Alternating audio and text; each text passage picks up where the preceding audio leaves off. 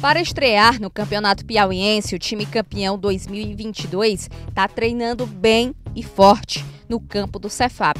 A equipe está formada com jogadores bons e alguns estão pela primeira vez no Piauí, como o Everton Porto, que vem do Botafogo do Rio. O Fluminense é o segundo time que ele joga como profissional. O Everton é um zagueiro é, forte, boa posição física, bom cabeceio, bom, bom passe. O Carlos também vai jogar o piauiense pela primeira vez. Ele vem do CSE Alagoas e é natural de Jandira, São Paulo. Temos um time muito forte, um elenco bom. É, creio que todas as peças que compôs o elenco é peças boas, né? Estamos defendendo o título e vamos em busca aí novamente nesse ano 2023. De acordo com o preparador físico do time, o Leandro, que acompanha todos os treinos, os jogadores estão preparados para iniciar o campeonato. Estamos na fase de término né, da preparação física de, da, na nossa pré-temporada, como é falado.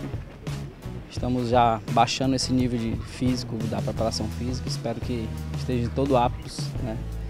Não temos contusões, fizemos um trabalho muito centrado aí no, nos que os atletas já tinham, outros já chegavam já estavam é, em temporadas fora em outros clubes. E está tudo ocorrendo no, no, no que foi programado, né?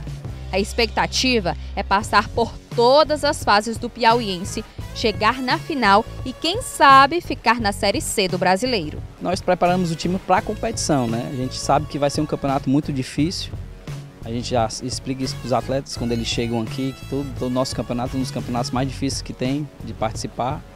Mas a gente não tem um foco de jogo, a gente tem um foco do campeonato. Nós precisamos novamente ser campeão, campeão piauiense, tentar subir para a Série C, né, que é o nosso objetivo, passar de fase na Copa do Brasil e tentar chegar um pouco mais né, na Copa do Nordeste. Levantar um troféu é bastante importante para a sua carreira, né?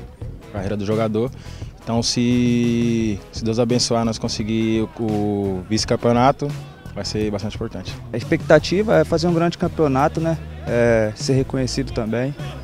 Vim de São Paulo para cá, primeira vez, e fazer o nome aí, se Deus quiser.